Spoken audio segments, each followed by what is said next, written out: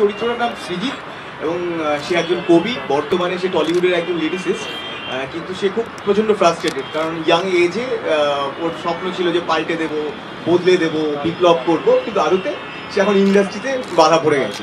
তাহলে বেশ ভালো চরিত্র বললে হ্যাঁ একটা ব্যাপার আছে সারাদিন এখন বাংলা খেয়ে থাকে।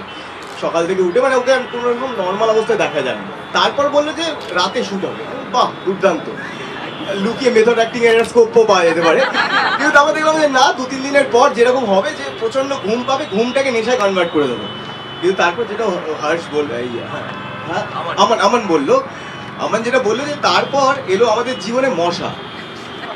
এবং সেটা ভয়ঙ্কর লেভেলে আমরা প্রত্যেকে যে কজন এখানে বসে রয়েছি দশ দিন ধরে মশা মারার নিয়ে একটা ক্র্যাশ কোর্স করেছি।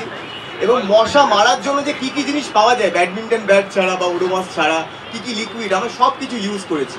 এবং বিশ্বাস করবেন না, আমরা এত মশা মেরেছি যে আমরা নিজেরা সবাই মাছ মারার সবাই। এখানে যে কজন বসে রয়েছি। তো সেইটার একটা দুর্দান্ত আমাদের হয়েছে। আর আরেকটা জিনিসও শিখেছি যে যদি অভিনয় করার সময় যদি মশা কামড়ায়, কী করে চেপে গিয়ে এক্সপ্রেশন দিতে হয়? হোল্ড করে। তো এইটা আমাদের দুর্দান্ত শিক্ষা হয়তো আমি হোমকামিংয়ে রুপির চরিত্রে অভিনয় করেছি।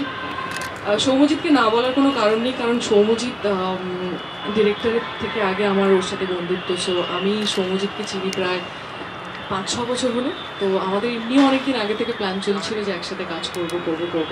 আমার মনে আছে একদিন সৌম্যজিৎ এই রুপি চরিত্রটা নিয়ে আমরা বসেছিলাম কথা হয়েছিল। তারপর বেশ অনেকগুলো দিন কেটে গেছে ফাইনালি আমরা কাজ করলাম। আর যেটা শাইনি সোহম সবাই বলল যে আমরা যারা এখানে রয়েছি, তাদের প্রত্যেকেরই কম বেশি থিয়েটার ব্যাকগ্রাউন্ড যেহেতু রয়েছে, কোথাও এই শ্যুটটা করতে গিয়ে সেই এনার্জিটা ফ্লোরে ছিল। আমরা কখনো বোর হইনি, কখনো শ্যুট করিনি, ওই খেলার ছলে কাজ, কাজের ছলে খেলা। সবটাই একসাথে হয়েছে। আর এই সিনেমাটা আমি খুবই কম কাজ করেছি, খুব বেশি কাজ করিনি বাট এই সিনেমাটা আমার কাছে কয়েকটা কারণে খুব স্পেশাল আর কি। এক হচ্ছে এতগুলো ভালো পারফর্মারের সাথে কাজ করতে পারার সুযোগ, সেটা একটা অদ্ভুতা বা একটা এক্সচেঞ্জ মানে একটা বিনিময় প্রথা চলেই আর কি। জানা অজানা সব মিলিয়ে। আর যেটা বললাম যে হোম কামিং মানে ওই বাড়ি ফেরা, আমাদের ওই, যেহেতু থিয়েটার ব্যাকগ্রাউন্ড থেকে সবার আসে, সেটা কোথাও একটা আমাদের কানেকশন তৈরি করে আপনাদের ভালো লাগবে করলাম যেখানে সিনিয়র মানে অনেকটা সিনিয়র বা বয়সে বড় সেরকম কেউ নেই। তো একটা টাইমে কাজ করতে করতে মনেই হচ্ছিল না যে ছবি করতে এসেছি, মনে হচ্ছিল পিকনিক হচ্ছে গোটা।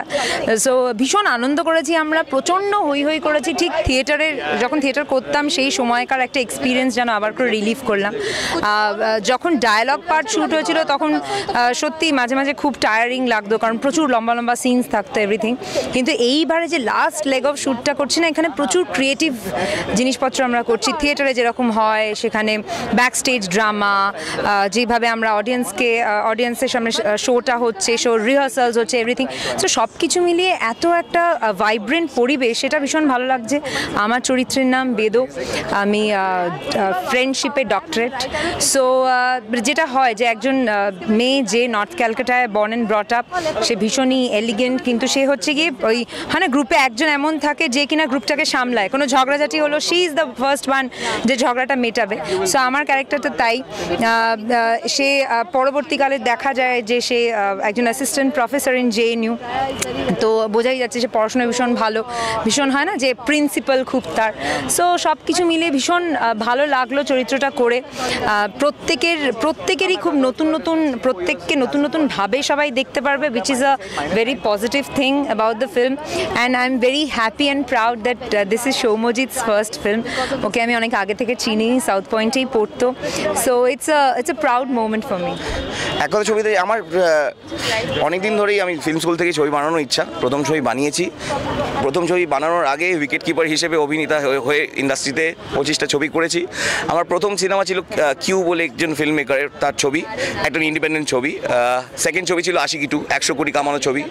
কলকাতায় বাংলায় করেছি হরর বোমকেশ বোমকেশ পর্ব, Bibaho diary Zulfiqar commercially successful films so আমার মনে হয় আমার এই সব জনারের ছবিরই ইন্সপিরেশন আর নিজেরও ছবি অ্যাজ আ ফিল্ম লাভার আমার খুব মানে আকর্ষিত করে সিনেমা আমি সিনেমার সাথেই বেঁচে আছি সিনেমার সাথেই থাকতে চাই। প্রথম ছবি বানিয়েছি, আশা করছি আরও ছবি বানাতে পারব। আর আমি কিছু চাই না, জীবন থেকে চব্বিশ ঘণ্টা সিনেমা দেখি ভাবতে ছবিতে পাঁচটা গান আছে তিনটে হিন্দি গান, দুটো বাংলা গান। তো হোম কামিং সিনেমাটা আমার জন্য খুব একটা নস্টালজিক ব্যাপার, তার কারণ হচ্ছে আমরা থিয়েটার করেছি সৌম্যজিৎ আর আমি। আর অনেক ক্যারেক্টার এখানে অনেক রিয়েল লাইফ থেকে তোলা। মানে খুব রিলেট করতে পারি আমরা। আর শুটিং করতে করতে ডেফিনেটলি প্রচণ্ড মজা হয়েছে। শুটিং তো হচ্ছে। সন্ধ্যাবেলা শুটিং হচ্ছে, নিচে ক্যামেরা নিয়ে সৌমজিৎ ব্যস্ত, ওপরে যে কি হচ্ছে? প্রথম দিনটা সবাই খুব ভদ্র ছিল। দ্বিতীয় দিন থেকে আসল শুটিং শুরু হলো ওপরে। সেগুলো পরে আস্তে আস্তে বলব, বেশি এখন বলব না মারপার খেয়ে যাব। এই গোটা শ্যুটটা খুব মানে খুব ভালোভাবে ওয়ার্ক করেছে, এই জন্য আমার মনে হয়। কারণ এখানে যারা আছে, প্রত্যেকেই অলমোস্ট থিয়েটার করেছে। তো আমরা সবাই ওই থিয়েটারের ভালোবাসা, পেন, মজা, এই এই প্রত্যেকটা জিনিসকে ভীষণ ফিল করেছি। যখন আমরা শর্টগুলো দিয়েছি বা তার আগেও বসে যেটা সায়নীয় বলছিল যে আমরা বসে আড্ডা মারছিলাম আর শ্যুটটা হয়ে যাচ্ছিল।